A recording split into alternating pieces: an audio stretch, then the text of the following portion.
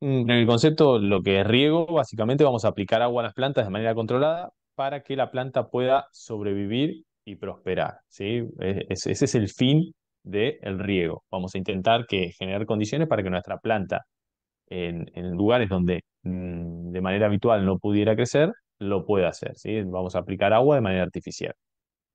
Los riegos pueden ser aplicando el 100% de los requerimientos o siendo suplementarios en zonas con altas precipitaciones y donde nuestro suelo pueda funcionar como eh, al- almacenando agua, ¿no es cierto?